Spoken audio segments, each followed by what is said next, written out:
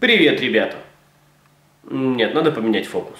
Знаете, я не понимаю людей, которые заводят себе телок из других городов. То есть, чтобы им увидеться, нужно купить билет, сесть на автобус, ехать туда сколько-то часов, а может быть и дней. Понимаете? Ведь Секс и так сложный. Зачем его усложнять? Потеешь и пыхтишь 7 или 8 минут. Потом кончаешь в третий раз за это время. Встаешь и сразу тебе хочется поесть. А потом лечь и ничего не делать. В результате, если ты позанимался сексом, у тебя невыполненные дела, безразличие ко всему и вспотевшее уставшее тело. И некоторые ради этого всего еще едут в другой город. Это как если бы ты получил двойку за четверть и твой батя говорит, я должен тебя отпиздить ремнем. Но для начала сделай ремень. И ты берешь, я не знаю, из кожи кого там делают. Э, берешь, например, выращиваешь овцу, доешь ее, даешь ей имя, подстригаешь. Потом, когда она достигает нужного э, размера, ты снимаешь с нее кожу, вырезаешь по эскизам и шьешь ремень. Потом отливаешь пряжку из руды, которую ты нашел высоко в горах. Потом это все сшиваешь, у тебя готовый ремень. И только потом тебя отец отпиздит им. Я всю свою жизнь встречался с девушками, которые жили в моем доме. И когда они резонно спрашивали, а за что я тебе нравлюсь. Я резонно отвечал, потому что твоя Пуся-Муся находится рядом с моим рокет-лаунчером. Да, я не ищу сложностей.